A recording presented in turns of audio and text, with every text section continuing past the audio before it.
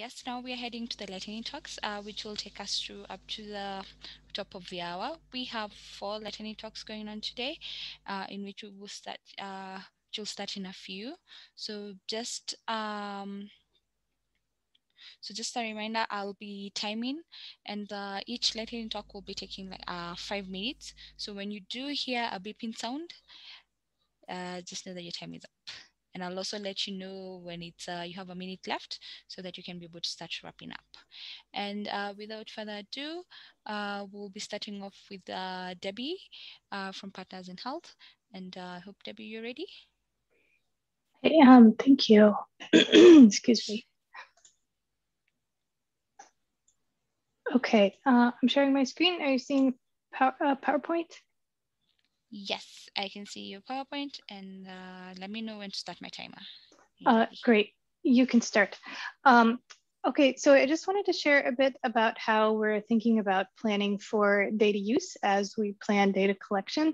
Um, we've been, um, as part of our strategic planning, we've been talking with our clinicians and improving our understanding of um, the way that they want to use EMR data um, for they, they would they know data is being collected and they really want timely, actionable reporting to guide their work in clinical program improvement. Um, they, they know that they're not always able to align um, priorities for training, staffing, supply chain management, community health um, around the evidence of the data that we have. So they want that to be easier to do. So looking at um, a typical way that we design our OpenMRS systems at Partners in Health. Um, we use as uh, an important guide um, paper forms. And of course, this makes sense um, when we have a system that um, is based on the paper forms and the existing clinical workflow that makes for a much easier implementation. Um, you're not disrupting the way people work.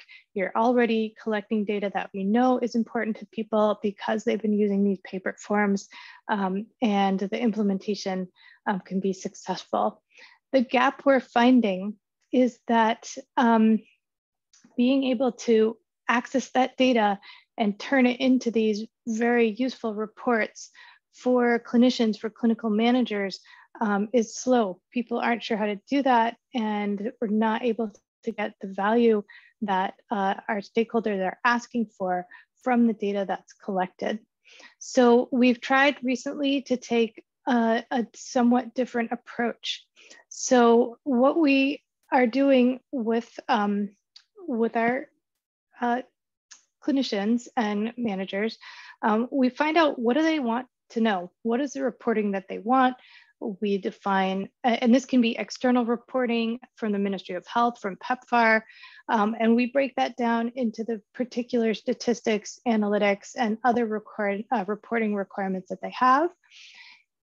We go through this backward design process that we break this down in particular indicators and define them break that down into attributes and really come up with the structure of tables that we would want to have to then use what we use, which is Power BI to come up with the reporting. So without looking at you know, the clinical data collection or the paper, we just say, what do we want to get um, this reporting in the, in the end? So we have then these requirements um, for what kind of SQL tables we want to end up with.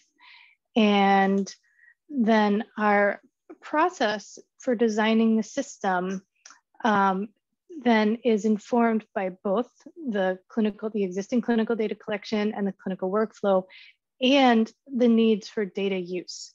So we have um, a, a, broader group uh, from our teams working together. Um, we have our, uh, of course, informatics team, we have clinicians and our monitoring and evaluation colleagues working together um, to both have input into what data needs to be collected and how it needs to be collected. So in particular, um, you know, knowing the data that we want out of the system, there's often some request for maybe additional data, for data collected in a slightly different way in order to avoid data quality issues, um, for asking for certain validations or for things to be required, um, and those kind of things that will make the data easier to use. and then, of course, we can implement the data collection um, as we usually have. And then along with that, um, we use um, uh, PETAL, the Pentaho, uh, sorry, Pentaho-based ETL to create a SQL data source uh, of this data. And then we use Power BI to create our reports. So we end up with a system that's meeting both needs, um, the clinical use and the reporting use um, that our clinical colleagues are asking for.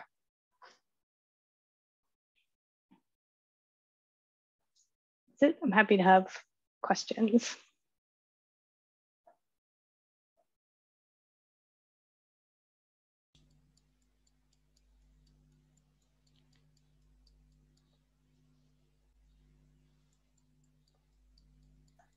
Okay, great. Uh, you just had a few more seconds, uh, but uh, you're good. Any, you can uh, definitely post questions. Okay, back as a question, you can yeah, and time is up. You can post the question on the chat. Um, back.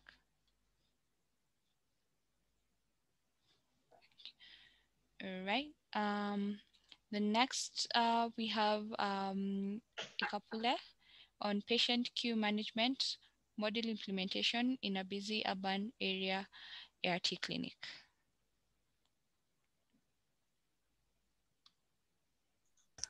Uh, thank you very much, Christine. Uh, good evening to everyone.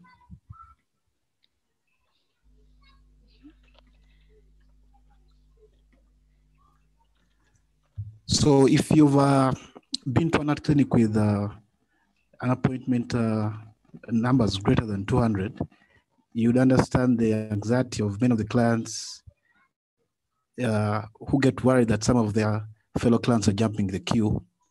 So that uh, gave us an idea of coming up with a queue management system, which would address some of these challenges that the clients uh, raise, and then uh, address some of the reports that we are interested in as, a, as an organization.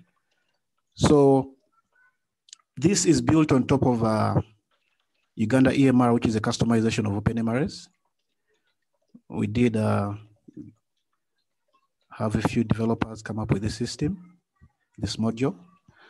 So once uh, this is built on top of a point of care, once a client uh, is checked in at the reception, they automatically queued into the waiting list. We see that we have a waiting list at triage, the clinician area, counseling, and laboratory pharmacy. So each of these uh, service points has a, a point of care uh, provider. So the clients, uh, once the client is selected, then we can see uh, the serving at the art clinic, serving in the refill room one. So the clients move from the waiting list of the different service points to now serving in those particular service points. Uh, we have been conducting patient waiting time surveys. And we thought with the point of care coming on board, this would be an opportunity for us to use that system to try and compute these times without having to run some independent survey, which again would cost us a lot of money. So as a part of this, we did customize some reports that uh, would answer some of these questions that uh, we were interested in. Uh, I'll jump straight into the some of the reports we're generating using this. So we have some of uh, this is one of the reports we generate, service point, performance evaluation report. This is looking at the different uh, service points, uh, how many providers in that area, how many clients were seen in a particular area on a given day, the total waiting time, and then the total service time. This uh, gives us a, a, snapshot on, on what kind of time, how much time the clients are spending within the clinic, uh, how long are they waiting, and then when they are interacting with the provider, how much time are they spending with the provider. So we do have another uh, report, which is now looking at the providers, uh, the location of the provider, and uh, outputs. So you're able to track down how many clients were seen by a particular provider, at what service point are they located? Uh, yes. Uh, we also have uh, a summary of the patient queuing report. This is now looking at individual clients on a particular visit day. How much time did they spend within the clinic? When did they check in? When did they check out? Which are directly uh, feeds into what we've been doing uh, previously, uh, the entire patient waiting time surveys. This is a, we do not need to incur any extra cost in conducting this. The point of care uh, coupled with the queue management module does that for us. So we're able to look at when was the client checked in and when did they leave the, cl the clinic. So we're able to compute how much time they spent within the clinic. Uh, this particular report also has components of the specific uh, service areas. How much time does a client spend at triage? How much time they spend at the lab? How long do they take interacting with the clinician? So this is also a summary of uh, just one of the service areas. That is the clinician's room. So you look at the client, when was the client, uh, when they checked in into that uh, the waiting area? When were they picked by the clinician? How long was the interaction between the clinician and the patient? And then we compute all those waiting time and the service time. So we, this is a pilot uh, that we are running in one facility. And so we have a number of challenges, although the one that uh, clearly comes out, we did incorporate a, a voice, uh, an announcer uh, who notifies clients that uh, client number this and this, you're, you're next to be served in this point at this point. But uh, the voice options we have currently from, I would say, Europe, which a bit hard to comprehend for some of the clients. We are trying to find a way of uh, incorporating local languages into this. Uh, thank you very much. Any questions? Um, thank you so much. Uh, the questions are being posted on the chat window um, so we can have a look at that as we continue. Thank you, Christine, and apologies for no worry, no worry. Thank you. All right, next we have um, Jennifer. Uh, we'll be talking about growing community talent, um, creating a more meaningful professional development experience.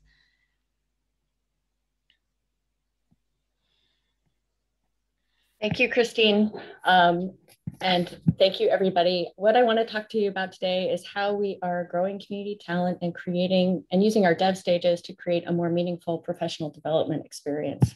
So there are two things that we've been doing in the last nine months that are really um, unlocking the potential for better um, supported professional development and self-driven professional development. The first thing is that we launched a fellowship program, something that we've been talking about for a long time.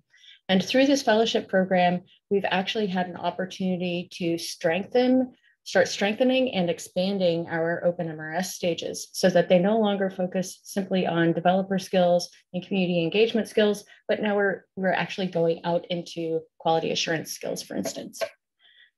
So here's, here's how the fellowship program kind of fits into our OpenMRS stages and professional development pathway, right? We usually have newbies come in um, a lot of newbies, especially right now, come in through Google Season of Code. And hopefully by the end, they go through and they become like maybe a dev, dev one, dev two.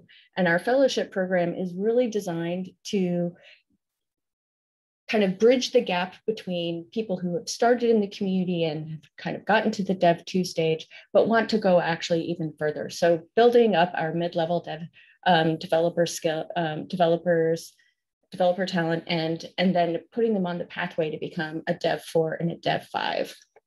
The question that we've that kind of been grappling with over the last nine months in this though, is what can actually make this professional development through the fellowship program easier?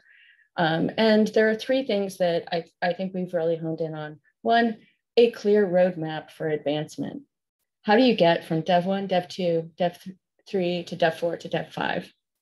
Um, easier access to learning resources that are actually linked to the skills that you would that you would build to progress through our dev stages.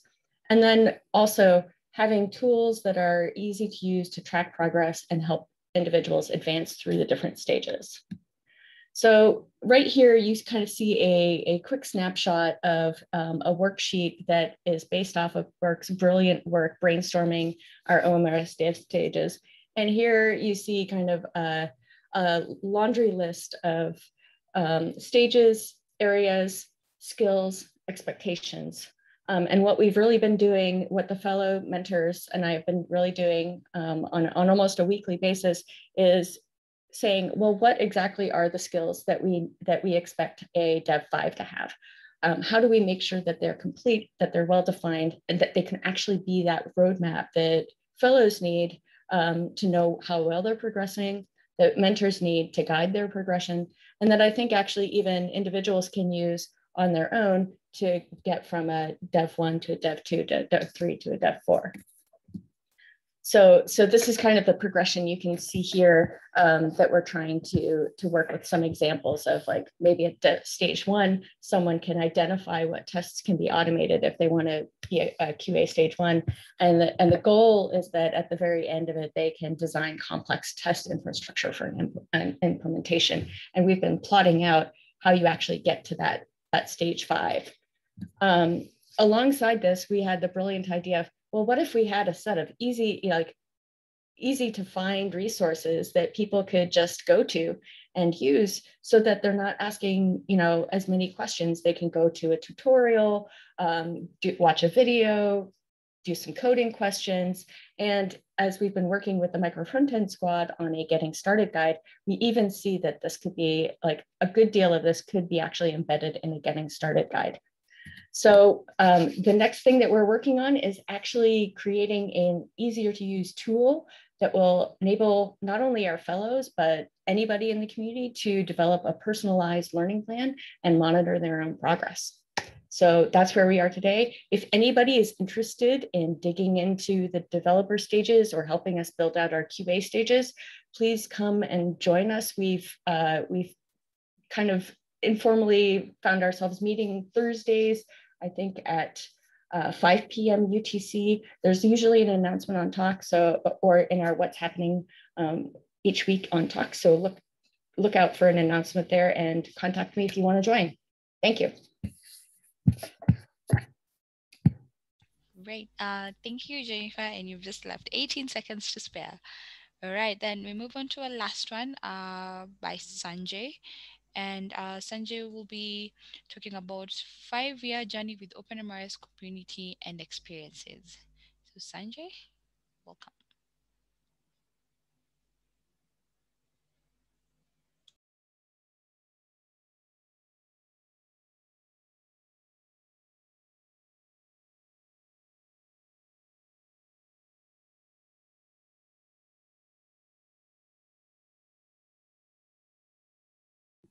Oh, sorry. Um, can you hear me? Um, yes. Yes. Yeah. Um, hello, everybody. This is Ms. Sanjay from Nepal. Um, uh, thank you for thank you community for providing me this opportunity to share my experience uh, since the last five years that I got from the community. Uh, to getting started with, uh, this is the day that I got connected with the community uh, five years back. Uh, that I got signed up with the OpenMRS talk. And since then, the journey started and got the opportunity to work with uh, the Ministry of Health in Nepal uh, during the DHIS2 integration. Uh, ThoughtWorks, Concare, Simprints, uh, a few of the implementations in Nepal in the rural sites. Uh, one of the challenging and one of the exciting uh, implementation back that uh, was the earthquake hit center. that was the epicenter during the 2015 um, earthquake. Uh, I also got the opportunity to work with the Uganda, Kenya, Malawi, Mozambique, and Bangladesh uh, team. Uh, thank you all for the support that uh, uh, I got during the implementation at the uh, implementation sites in Nepal. Uh, a few of the other organizations that I worked with is Possible Health and self Nepali as a community. Outside that, some of the EDPs, external development partners like GIZ was the uh, enhanced support that we, we got during the implementation of DHIS3 and insurance integration. Uh, these are the people, I'm so sorry, uh, I got very few uh, photos here that I got from my library, but definitely we all are together. Um, thank you all for these awesome moments, uh, uh, reflecting back to the first visit with Paul in Colombo, um, Jan, and all the team members out there. Um, definitely, I, it would be great for me to share all those photos, but I'm so sorry again. Uh, but these are the uh, these are the essence that I have got from the community. I'm so excited, and I'm always there with the community. Um, so, what is the next step for us now um, after the five years? Is uh, till now what we felt is the uh, the pain point for us is the implementation uh, engineer, engineers, uh, the skilled engineers that we always lacked. So the target now is to work with the Ministry of Health and the academic institution to build the uh, expert team, let's say, or skilled manpower through the OpenMRS academic program, which we have aimed uh, to uh, have the session in 2021 um, at, at, the end of this month, April. Uh, as being the OpenMRS uh, Nepal community, we always uh, love to work with the new face, new uh, students, including the academic institutions and private companies. Uh, the other areas that we would like to work on with is the health data security and the standardization that Dr. Devkota also mentioned that there are some policies that has already been built on and is in the queue in the work of the implementation. So this is the um, exciting news for us as a community from Nepal. Um, we recently got the opportunity to work with one of the largest academic institution, uh, and we had we are we had been invited to as the uh, uh, OpenMRS uh, tutors that we we we are uh, we have started the open OpenMRS fundamental training for the students around 25 students who will be directly getting getting the knowledge about the OpenMRS fundamentals as well as the implementation point that uh, we got to implement in the possible sites.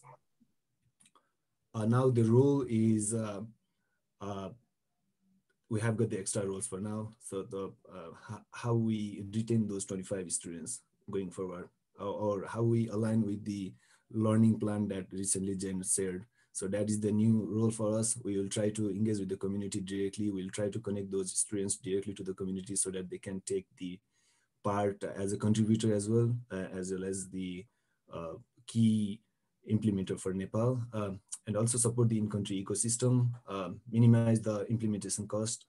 Uh, some of the experience that we faced is uh, the, some of the implementation, there were very few implementation, but th those all were the very expensive and we, we we, aim to minimize the cost of the implementation, how we can um, make the sustainable implementation that will be the new areas that we always look into now, uh, so that financially we th there should be the way to uh, be sustained in the long run as well. So uh, the point that we will be carrying out is the capacity the student community and support the uh, local ecosystem. Um, a few of the organizations that we are in touch with uh, who are supporting us to to uh, disseminate the com uh, community information as well as providing the resources are Nepali HR and few of the colleges and other private entities.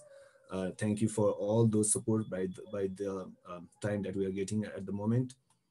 Uh, so there are other miles to move on along with. Uh, besides the OpenMS, we, we expect to get the support from OpenELIS, OCL, FHIR, OpenMRS 3.0, Bahmni, and Health Information Exchange in, in terms of the uh, education. Uh, basically, uh, next year, our target is to connect with the multiple academic institutions. So far, probably we'll go with few more academic colleges and we try to uh, educate the students on this area and we are open to collaborate with all the community members all the stakeholders as well as all the organizations so i look forward for for the next year to get in, engaged with the community activities mostly and support the Ministry of Health uh, in making the uh, dream of making the digital, digital Nepal uh, uh successful, uh, digital Nepal in a successful um, uh, way. So um, for any questions or if you want to reach out to me,